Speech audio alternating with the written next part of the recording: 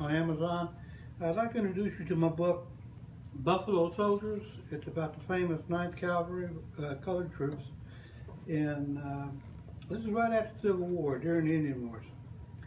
Uh, Abe Lucas, the Sergeant Major, and his group discover a Medal of Honor winner who's killed along with his wife, and two of their grandchildren are captured by Indians.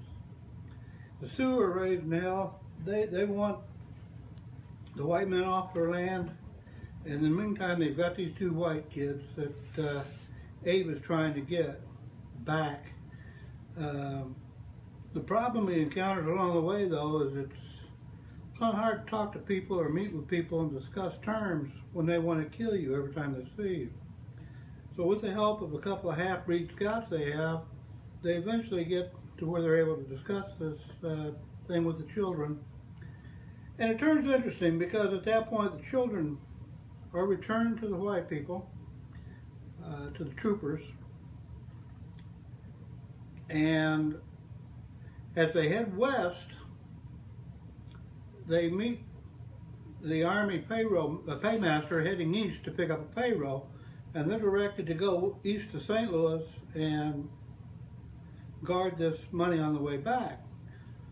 That evening, the Sioux attack again and unknowingly recapture the two kids again. And now it's down to Abe and the Sioux warriors to determine what's going to happen to these two kids. They've already threatened to kill Abe at the next encounter. Uh, I appreciate the opportunity to speak to you today.